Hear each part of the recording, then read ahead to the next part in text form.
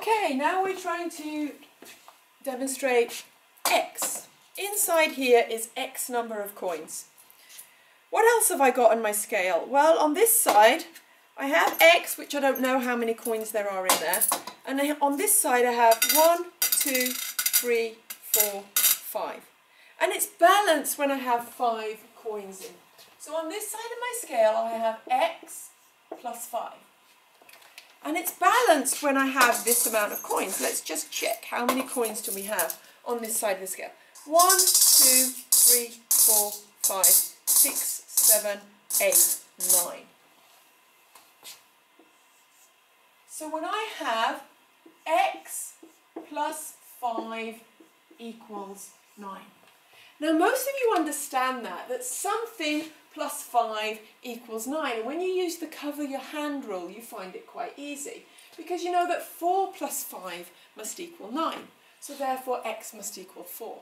But then when we get a little bit more complicated, where we start discussing x divided by 3 plus, uh, 2 equals 4, then you start to wonder why I'm trying to teach you to subtract this 2 from both sides of the equal sign.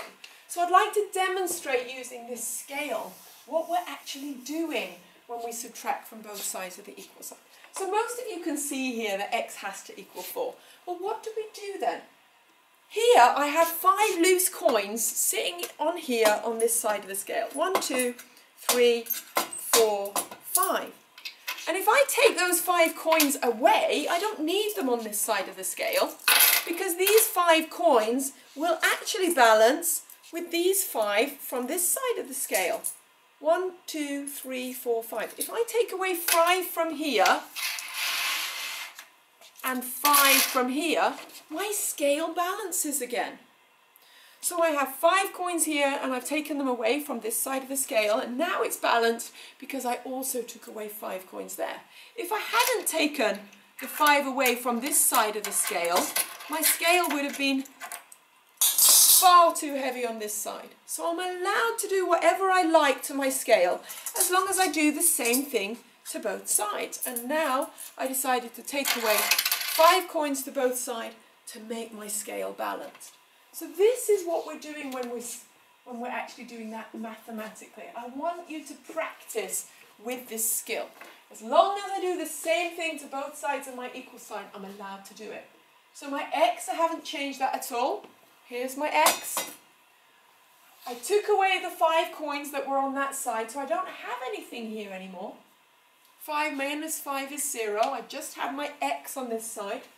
And it equals, I had 9, but I took away five coins. So I now know that 9 minus 5 is 4, so x must equal 4.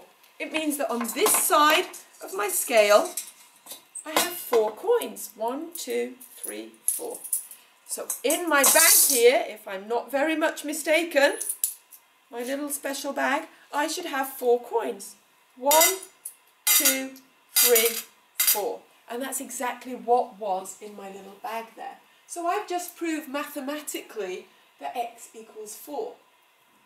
I know this skill is very useful in the beginning when you're learning algebra. Something plus 5 equals 9, x must equal 4. But as you get more and more advanced expressions with two lots of x and three lots of x, or 54 lots of x minus 32 equals 108. How would you solve that one just covering your hand over there? It takes a while. So the skill instead is learn how to add 32 to both sides of the equation. It gets rid of the 32 there. So you get 54 lots of x equals 108 plus 32. That would be 140.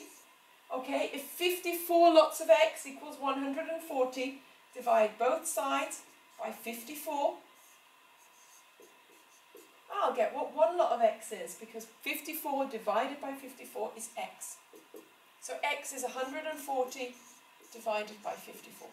And then we can simplify that or use our calculators. So this is just a way to learn how to start using these simple algebra skills by subtracting or adding to both sides of the equal sign to make our scale balanced again. And it's just to help you with those skills.